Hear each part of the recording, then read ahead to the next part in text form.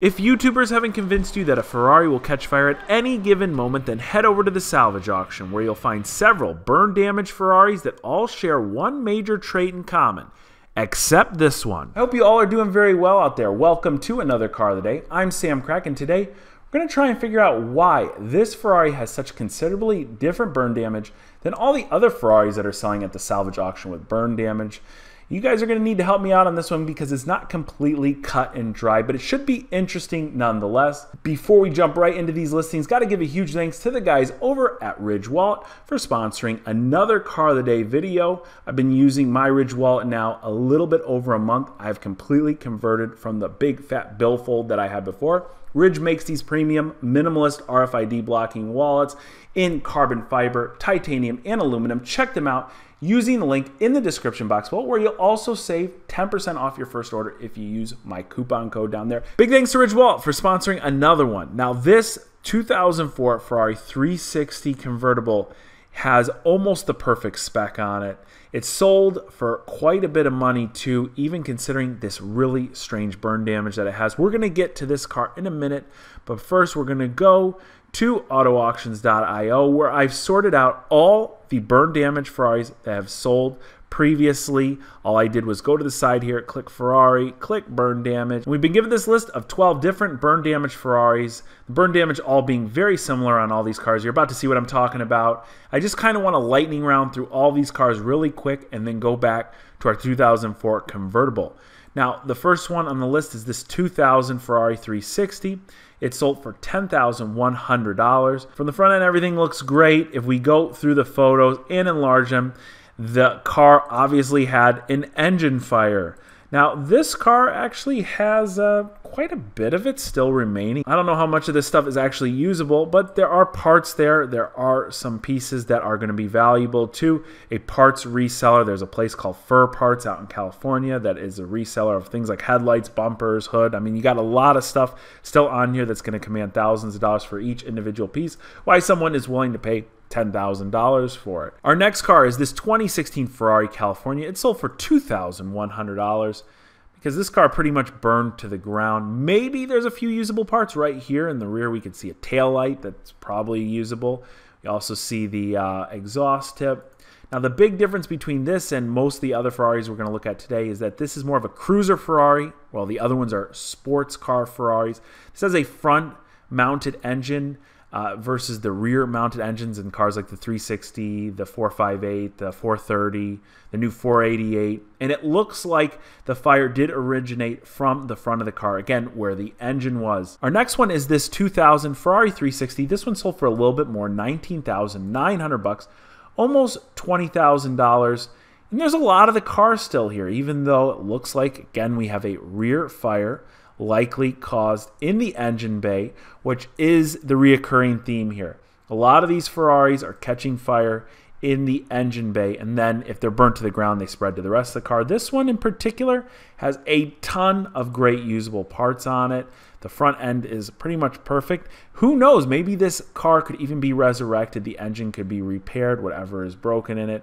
I'm not even sure what this is here. This looks like a burnt piece of fiberglass or carbon fiber or something from the engine bay area that just kind of fell down there. This is one of the better burn damage Ferraris we'll see here, whether it ends up being used strictly for parts or whether they'll attempt to rebuild it. There's still a lot of stuff here. Our next one is the only F430 that is sold in recent history. Again, almost sold for 20 grand and it looks similar to those 360s. Clearly had an engine fire, burned half of the car pretty much completely gone.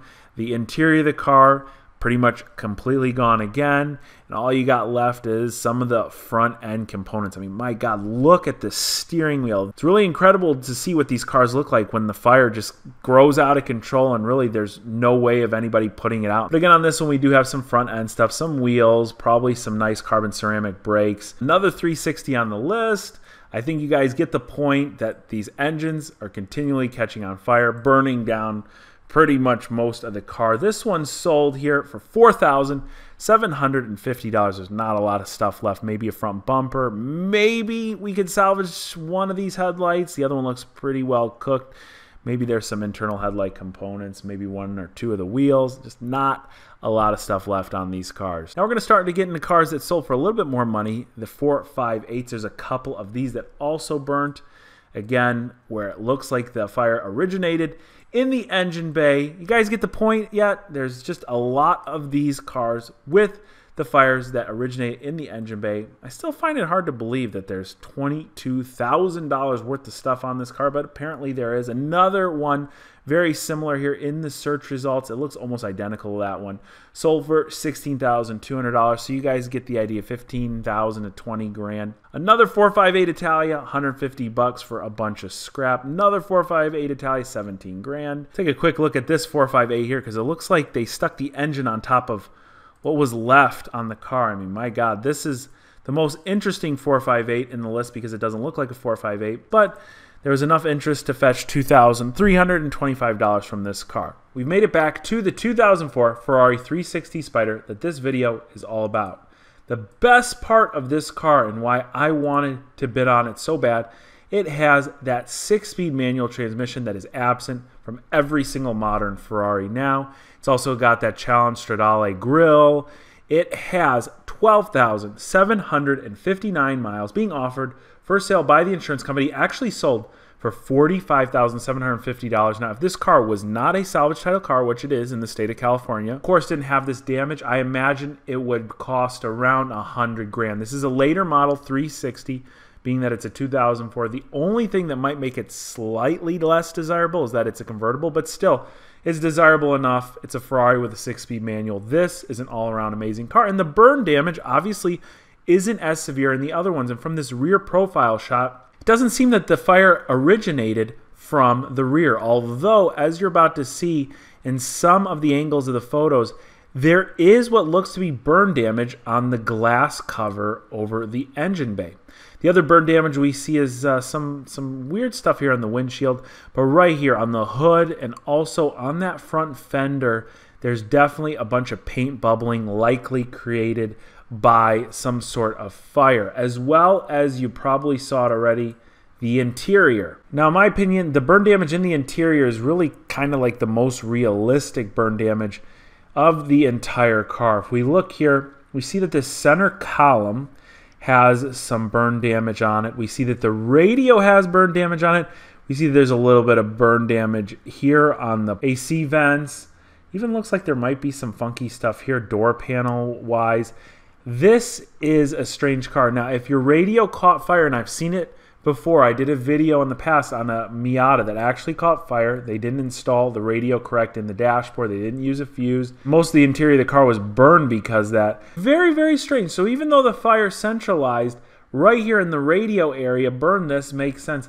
How did this get burned? Well, it probably has to do with the outside of the car, that side of the car being burned, maybe with the top down, likely with the top down because if we go back to the photos of the car with the top up, the first thing in my mind that would burn in a car that had a fire is the top doesn't have a single burn on it. Now, a bunch of things came to my mind. Maybe there was a car or a building or some object on fire next to the car and uh, scorched the paint. I've seen that done before. But with the interior burn, that hypothesis just doesn't make much sense. Right here, it says do not touch on the hood. I'm wondering if it's completely burnt all in the front trunk area here. My best guess, I'm going to go right back here into the interior and I'm going to guess that a fire started somewhere between the front trunk and the radio area, okay? Uh, causing the damage you see up front. It actually burned from in the trunk area up, bubbling up the paint here that we see on the hood, on the fender region. I'm assuming that a lot of the front stuff underneath this trunk, underneath the plastic, underneath the body panels is burnt, but that still does not explain the damage on the driver's side door and of course in the engine bay. Really quick looking in the engine bay, it looks like there could be a burn on one of these intake shields right here. Uh, this appears like it could be burnt, but it's not. It's just a reflection from the glass. So again, I'm going to go with electrical fire. I really want to hear what you guys think. Let me know in the comments section below why this Ferrari is burned in the way that it did. And then also let me know. Do you think the car's worth $45,750? Uh, the fact that it runs and drives and the engine starts and the engine bay looks as clean as it does is a really good sign. I do not regret letting this car go for over $45,000. I simply think it's too much for too big of a mystery. Maybe the person that bought it and won it was able to put their hands on it and decide that this thing can be repaired. If it can, once it is repaired, they've got a car that is worth upwards of $75,000, $80,000, even with the salvage title, as these manual transmission Ferraris will continue to hold their value and slightly increase over the foreseeable future. Now, guys, if you enjoyed this car of the day, be sure to hit that like button. Also, send me links of unique cars, of cars with weird and, or strange damage, or maybe damage that has been fixed up a little bit and run back through the auction to my email, samcracauto at gmail.com. Guys, I really appreciate you watching today, and I will catch you very soon.